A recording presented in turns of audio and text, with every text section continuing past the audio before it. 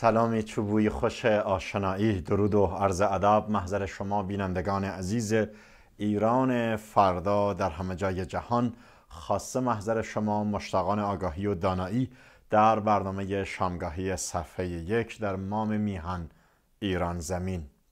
و باز در برنامه ای دیگر مهمان خانه های شما هستم. برنامه امشب سهشنبه 23 اردیبهشت ماه ایرانی برابر با دوازدهم ماه می سال 2020 میلادی رو در طول کمتر از 25 دقیقه زمانی با هم مرور می‌کنیم با تازه هایی از امروز ایران در ایران فردا. همون گونه که انتظار می‌رفت تحلیل حول حادثه تلخ کنارک و این بار شلیک ارتشیان به خودی ها موجی از واکنش ها رو بر صدر رسانه های چاپی تهران کشاند. در این میان روزنامه آرمان ملی رو می‌بینیم که در گزارشی تحت عنوان حادثه تلخ کنارک باز هم خطا گزارش اصلی خود رو به همین ماجرا اختصاص داده بود. روزنامه آرمان ملی در واقع در چند گذره مختلف به تحلیل ماجرا پرداخته بود. اولا که اصل واقع توسط برخی از کاربران در شهر شبکه ها منتشر شده بود. کماکان به سکوت مقامات کشوری و لشکری اشاره داشت و آن رو هم مبهم خوانده بود. همینطور به قابلیت و توانایی ناو جماران اشاره مشکوک و تشکیکی می کرد خب همگان این موضوع رو به تعبیری متوجه شدن کارشناسان نظر دادن که خود جماران به مسابه یک ناو موشک انداز با اصرار شخص رهبری جمهوری اسلامی ایران افتتاح شد در حالی که حتی گزارش هایی بسان زمزم وار منتشر شده مبنی بر اینکه به هنگام افتتاح این موشک انداز حتی از سوی برخی از کارشناسان ارشد ارتش به مقام رهبری جمهوری اسلامی تذکر داده شد که این ویژگی لازم و مجهز و همه استانداردهای لازم فنی رو برای افتتاح ندارد. اما گویا آقای خامنه‌ای اصرار داشت که بایستی در راستای برجسته کردن قابلیت های نظامی نیروهای تحت امرش این کار رو انجام دهد و این فاجعه رخ داده است. علاوه حال بر حسب گزارش روزنامه آرمان ملی در پی وقوع این حادثه دردناک و جانگداز تعدادی از مسئولان و مقامات ارشد کشوری و لشکری طی نامه های جداگانه جان باختن سربازان ارتش ایران رو تبریک و تسلیت گفتند. رئیس جمهور ایران نیز با صدور پیامی خطاب به فرمانده کل ارتش نوشت سانحه ناگوار و دلخراش برای یک فروند شناور نیروی دریایی ارتش ایران و جان باختن و مجروح شدن جمعی از دریادلان ارتش موجب تأثیر و اندوه شد. و هر روز چیزی که در این رابطه مشخص می‌خوام اشاره کنم البته به دیگر روزنامه ها نیز خواهم پرداخت. تنهای موازه یک روزنامه رو ما دیدیم.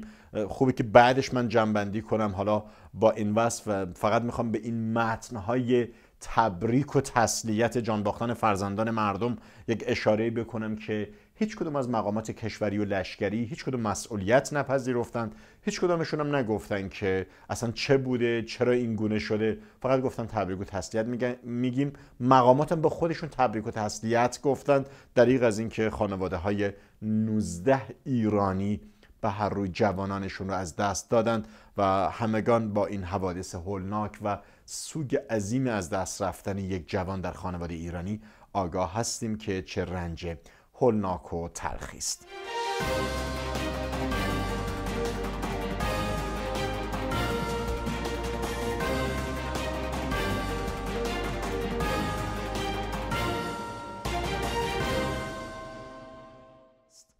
خبرها و نظرها رو دنبال می‌کنم. کماکان مایلم با همین زمینه و مضمون ادامه بدم چرا که یک موضوع دیگر هم که وزیر صنعت باشه بر صدر رسانه هاست.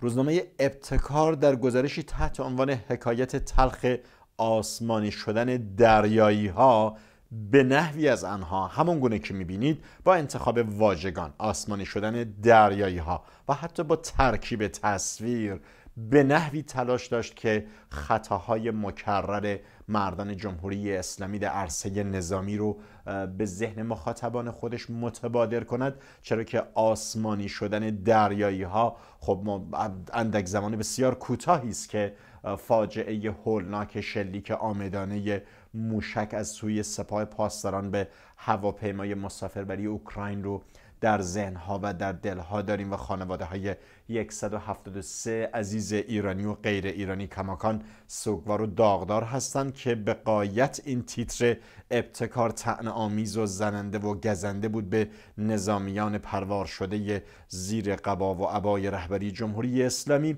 که اون از آسمانش و این از دریایش. حتی من می‌دیدم بسیاری از کاربران شهر شبکه ها در برخی از کشورها که حالا ذکر نام نمی کنم در برخی از کشورهای منطقه بوده می‌دیدم که به تمسخر می‌گفتن که این بار گویا ایرانی ها با خودشون جنگ کردن و 19 نفر رو کشتن. در توییتر دیده بودم با لحن نیشالود. بسیاری از شهروندان اینگونه نوشته بودند حتی یکی از مقامات ارشد وزارت خارجه یکی از کشورهای حوزه خلیج فارس نیز اظهار نگرانی کرده بود و با لحنی نیشالود خطاب به مقامات جمهوری اسلامی گفته بود که اگر واقعا نیاز به بازبینی و نظارت دارید ما حاضریم بیایم اونجا کمکتون کنیم. خب جمهوری اسلامی آگاه هستید. بسیار ادعا دارد بر هوافضا و نور و قاصد و از این مسائلی که هر روز مطرح می‌کنن و این جانب همواره به مبانی و به ماهیت این همه توسعه نیروهای نظامی سپاه چه از در حوزه بهداشتی کرونا یابش چه تولید واکسنش چه الان که امروز باز می‌دیدم رسوایی ارسال چهل هزار کیت به آلمان و ترکیه که مقامات ترکیه گفتن که اصلا ما چون چیز دریافت نکردیم و آلمانی ها هم گفتن ما فقط تو خبرها شنیدیم چیز دست ما نرسید. با همه نوع احوال همه نیروهای نظامی که در هر حوزه‌ای اظهار موضع می‌کنن با این خطاهای پیاپی بسیار برای شهروندان و افکار عمومی واضح روشن شده که اینها همه دروغهایی بیش نیست. علا حال گزارش روزنامه ابتکار بخش های چگونگی ماجرا و اطلاعیه های منتشر شده از سوی نهاد ارتش رو منتشر کرده بود و مجموع پیام های تبریک و تسلیت هایی که مقامات جمهوری اسلامی در چنین مواقعی برای همدیگر صادر می کنند نگاه دیگری خواهم داشت به چند موضوع دیگر. البته باز با همین موضوع به چند روزنامه دیگر مایلم اشاره کنم. روزنامه جوان ارگان سپاه پاسداران رو می‌بینیم که تحت عنوان اندوه دریادلان شهید مجموع تصاویری از این جانباختگان و هم میهنان بیدفاع و بیگناه ما رو که گوشت جلوی توپ کرده بودن منتشر کرده بود. و بالاخره روزنامه جام جم ارگان صدا و سیمای جمهوری اسلامی در گزارشی تحت عنوان سبکبالان ساحل ها باز با دو واژه شعر و ادبیات و تیتر بسنده کرد و با شعر حافظ اشاره کرد که سبکبالان ساحل ها جهان صنعت اما داغ خطای انسانی رو برجسته تر کرده بود و از جان باختن 19 نفر نوشته بود. روزنامه دسترسی رسالت ایران در سوی ارتش رو برای این واقعه به عنوان گزارش اصلی برگزید. روزنامه روزان اما واژگانی تا حدودی حساب شده تر رو انتخاب کرد. می‌بینید اشتباه محاسباتی که به نحوی از آنها به تکرار و مستمر شدن اشتباه های محاسباتی حوزه های مختلف چه حوزه تصمیم, تصمیم سازی های سیاسی و چه نظامی تأکیدی مکتوم داشت به تعبیری. مشخصا به گونه اشتباه محاسباتی رو برجسته کرده که خب کلیت نظام به هر روی می‌دونیم چه در حوزه دیپلماسی خارجه و چه در حوزه نظامی خب اشتباه محاسباتی بیشمار دارند.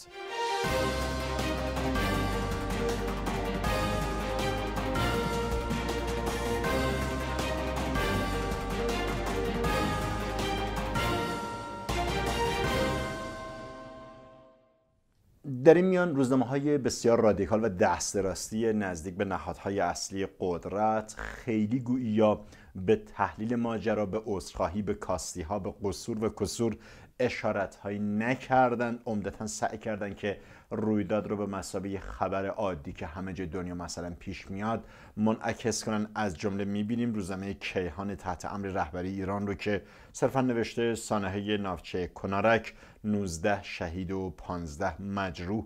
بر جای گذاشت بی آنکه اشاره کند که این مجروح و این جراحت بر دل خانواده های داغ دیدهشان هست و با اون عناوین شهید اجباری که میخوانندش روزنامه وطن امروز تونرو هم صرفا با عبارت عروج دریادلان ارتش سفارایی شده بود که نشان می‌دهد این رسانه های دست رستی ارزشی خیلی به چند و چون و کم و کیف ماجرا نپرداختن جز به انعکاس برخی از این بیانی های روابط عمومی. نهاد ارتش که خب یک بخشش رو ما می‌تونیم بپذیریم. بگیم نهاد نظامی بوده. نمی‌تونن بیش از این ورود پیدا کنن جز اینکه اطلاعات رو از روابط عمومی های ارتش بگیرن. اما نکته ای که در اینجا بایستی محضر شما بینندگان عزیز اشاره کنم آن که خطای انسانی طبعا در بسیاری از حوزه های بشری محتمل هست ممکن هست خطای انسانی در هر حوزه هم پیش می آید اما خطاهایی به چنین حساسیت هایی که همواره هم مرگبار شده و تکرار این خطاها الزاما دیگر خطای انسانی نیست. این نامش ناکارآمدی مدیریتی جمهوری اسلامی است. این عنوانش ناتوانی در حوزه اعمال مدیریت هست. سانحه هواپیما و مشلیک آمدانه مشکست روی سپاه به هواپیمای اوکراین و جان باختن بیش از 170 شهروند و همینک در روز روشن تحت عنوان رزمایش نظامی و با شلیک اشتباه یا بنابر گفته خودشون شلیک اشتباه چه بسا اسرار پنهانی هم پس پشت پرده باشد که به مرور و تدریجا به افکار عمومی برسد. در دنیای ارتباطات و اینترنت پنهانکاری خیلی مقدور نیست. علی حال تا اطلاع ثانوی فرض رو بر این بگیریم که اشتباه بوده جنایتی جدید رخ داده و جمعی رو داغدار کرده.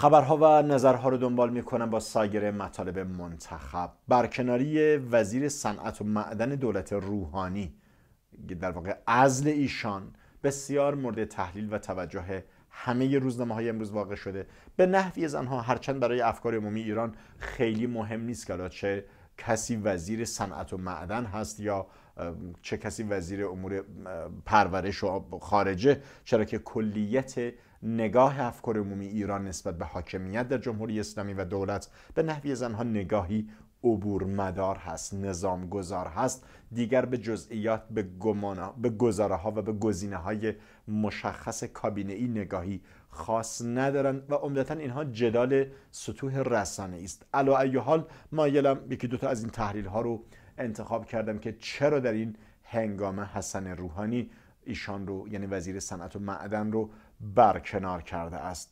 علا ظاهر به خاطر بحران خودرو در ایران بوده است. و در این رابطه روزنامه ایران نیم صفحه اصلی خود رو به همین ماجرا اختصاص داد و نوشت سمت جدید سمت. بازی با واژگان. علی حال سمت نخست رو هم همون گونه که می‌بینید منظور سویه و سیاست گذاری های جدید سمت هم که خب همون مخفف واژه صنعت و معدن و تجارت هست. حسب گزارش آقای روحانی دیروز طی حکمی آقای مدرس خیابانی رو به سرپرستی وزارت صنعت معدن و تجارت منصوب کرد. در حکمی که روحانی برای سرپرست تازه وزارت سمت نوشته هفت مسئولیت مهم رو که طی یک سال و اندی گذشته مقفول مانده بود تبیین کرد. بر اساس حکم رئیس جمهور جهش تولید در شرایط تحریم های ظالمانه به تعبیر اینها هماهنگ بودن دستگاه های زیربط مدیریت بازار و تأمین کالاهای اساسی و بالاخره ساماندهی قیمت خودرو از جمله مسائلی بود که حسن روحانی به طور مشخص در تازه ترین حکم و فرمانی که برای سرپرست این وزارت خانه زده بود تأکید کرده بود. حالا تحلیل این ماجرا چیست؟ آیا واقعا اصلا سرپرست وزارت صنعت و معدن می‌تواند کاری بیش از خود وزیر قبلی بکند؟ آیا اصلا خود وزیر صنعت و معدن آیا در عرصه سیاست گذاری خودرو در نظامی که تماما مافیایی هست و توسط نهادهای نظامی سپاه مدیریت می شود آیا اون می‌تونه نقشی داشته باشد؟ اینها رو در بعد از مروری که من به چند روزنامه خواهم داشت یه مرور کوتاهی رو موضوع به لحاظ تحلیلی خواهیم داشت. روزنامه جهان صنعت اما از زاویه دیگر به ماجرا پرداخته بود. همون گونه که می‌بینید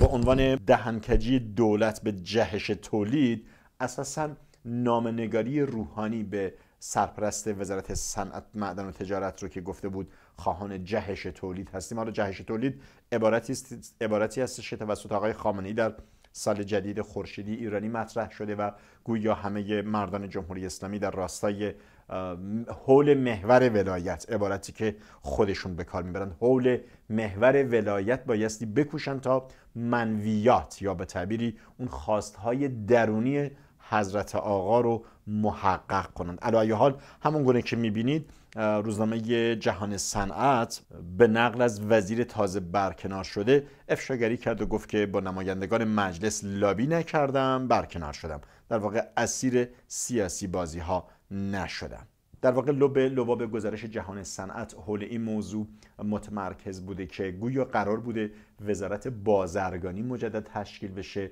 و چون این وزیر مخالف تشکیل شکل جدیدی از وزارت بازرگانی بوده و نمی‌تونست نمایندگان مجلس رو هم اقناع کنه برکنار شده بود. البته ایشون خودش طی یک نامه گفته که اسیر لابیگری ها و به تعبیری فشارهای مشخص آقای واعظی رئیس دفتر حسنی روحانی شده. از غذا آقای واعظی این ویژگی ها رو داره. این ویژگی های به تعبیری واسطه گرایی و میانجیگری و فرمانبری و فرماندهی. این مدل رفتارهای بیپرنسیب مدیریتی رو در آقای واعظی به دفعات دیدیم.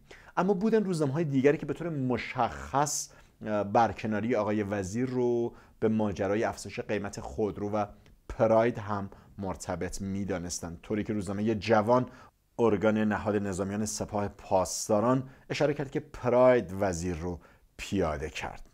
روزنامه خراسان هم از برکناری جنجالی وزیر خبر داد و اشاره کرد که در حالی که گمانهای اولیه از تغییر وزیر سمت به خاطر بحران خودرو حکایت داشت نامه رحمانی و پاسخ دفتر واعظی پشت پرده دیگری رو رو کرده است.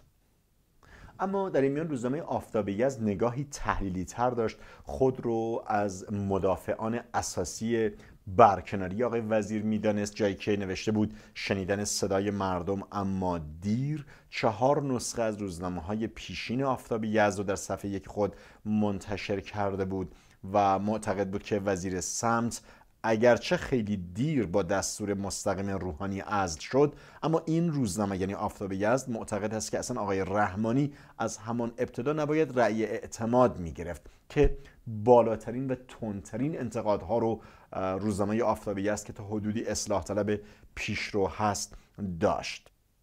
این روزنامه معتقد بود که شخص رئیس جمهور می توانست خیلی پیشتر وقتی ناکارآمدی این وزیر محرز شده بود دست به کار می شده او رو برکنار می کرد رسانه هایی مثل آفتاب یزد بارها و بارها در خصوص عملکرد آقای رحمانی نوشتند و خواستار عکس العمل مناسب رئیس جمهور ایران با توجه به مطالبات مردم شدند. آقای رحمانی مدرک کارشناسی حقوق رو از دانشگاه آزاد تبریز گرفت و سپس از سازمان مدیریت صنعتی و دانشگاه صنایع و معادن کارشناسی ارشد و دکترای مدیریت دریافت کرد. سه دوره هفتم تا نهم نماینده مردم تبریز در مجلس بود. ریاست بر کمیسیون صنایع و معادن مجلس رو نیز در کارنامه خود دارد و قائم مقامی وزیر سمت. اما دوران وزارت رحمانی دوران تشتت و نگرانی هایی بود که هیچ کس هیچگاه هیچ پاسخی برای آن نیافت. همین ها در حالی است که به هر روی روزنامه ها امکان نقد این موضوع رو ندارند و امکان آشکار کردن پشت پرده قدرت و تعاملات پنهان قدرت در جمهوری اسلامی ایران رو ندارند که اصولا دولتمندان و دولتمداران و دولتمردان در نظام جمهوری اسلامی جز اینکه برای مدتی کوتاه خاصه پس از دهه سوم انقلاب چون در دهه نخست انقلاب اسلامی یا موسوم به استقرار نظام فقها خب به نحوی زنها ادهی در سطوح در سطوح و جایگاه مدیریتی و دولت ها قرار گرفته بودند که یا پایبندی به ارزش های اصلی خود خمینی داشتند یا به نحوی انقلابی خود رو می نمایاندند و مجموعاً به ارزش های ایدئولوژیک نظام تازه استقرار یافته که نهزت اسلامی نام داشت خود رو وفادار می‌دونستند. اما به مرور خب یک سفره انقلابی پهن شد که بیشتر یه سهمی می‌برند و هر کسی هم با تکثیر و تولید آقازاده های بیشمار سعی دارند که از این سفره بخورند و یا راهی راه دیارهای دور شوند. با این وصف هسته اصلی قدرت در کانونهای دیگری قرار دارد و وزرا هم خود سهمی از این سهامداران بزرگ نظام مصروم به اسلامی است. عملا امکان تغییر در سیاست گذاری های رکنی و اصلی ایران رو هیچ وزیری نخواهد داشت. حتی وزیر خارجه وزیر اطلاعات و وزیر فرهنگ و ارشاد از جمله وزرایی هستند که می‌گویند با نظر مشخص شخص بالاترین مقام یعنی نظر رهبری جمهوری اسلامی بایستی تعیین بشوند تا ایشون تایید نکند. این وزرا حتی منصوب هم نمی‌شوند. با این وصف قدرت اعمال تغییر در سیاست گذاری های کلی نظام رو که آن هم مبتنی بر نظر یک شخص یعنی رهبری جمهوری اسلامی تنظیم می شود رو ندارند و قدرت هیچ گونه تغییر رو ندارند و بایستی فقط به مسابقه کارگزارانی در خدمت نظام فقها باشند. وقتی من رو به انتها هست فقط خواستم به این نکته اشاره کنم که گویی یا به طور لحظه ای آمار مبتلایان کرونا در ایران بالا می رود و با این وصف امروز اعلام شده که بازگشایی تمامی مساجد ایران در دستور کار قرار گرفته که چه بسا یک فاجعه تازه ابتلای همگانی نیز در راه باشد. بازگشایی مساجد با وجود هشت استان پرخطر عنوان گزارش اصلی روزنامه آرمان ملی بوده که و بسیاری از های دیگر که به این موضوع پرداخته بودند و مایه نگرانی داشتن علیرغم که فرماندار آبادان گفته اصلا آبادان بگونه وضعیت ابتلا به کرونا بالا رفته که کل آبادان رو قرنطینه کردن و استاندار استان خوزستان آقای شریعتی هم صریحا گفته که با ابتلای دویست درصدی در استان دست و پنجه نرم می‌کنند با این وصف گویا باز در راستای تحقق منویات و فرامین و فتاوای فقیهان و آیت الله علی خامنه ای رهبری جمهوری اسلامی که گویا مجدد گفت نهاد و کمیته و تیمی تشکیل دهید تا ضرورت دعا رو درک کنند و اونها بگن که مساجد در ایام قدر باز باشد یا نه. با این وصف گویا می‌خواهند چنین کنند و مردم رو بسان گله در نظر گرفتند که گویا می‌خواهند همه رو مبتلا به کرونا نمایند. و با این مطلب وقت برنامه امشب من نیز در همین مقال و مجال به پایان می‌رسد. تا درودی دوباره در شانگاهی دیگر و با تازه هایی از هر روز ایران در ایران فردا. بامداد روشن Pedro.